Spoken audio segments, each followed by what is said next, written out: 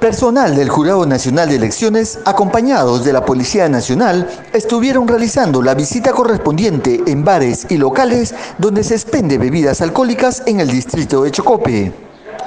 Se entrevistó al señor David Guanilo Paira Samán, fiscalizador local del Jurado Nacional con sede en Chocope, quien nos brinda mayor alcance al respecto.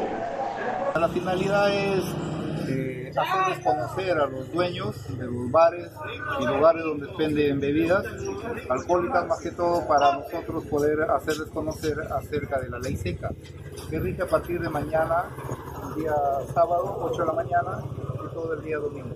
¿Esto se viene realizando simultáneamente en otros distritos o solo en Chocope? En todos los distritos a nivel nacional. También informó que mañana sábado, desde las primeras horas del día, se procederá al retiro de la propaganda y material publicitario en las calles y zonas aledañas cercanas a los locales de votación.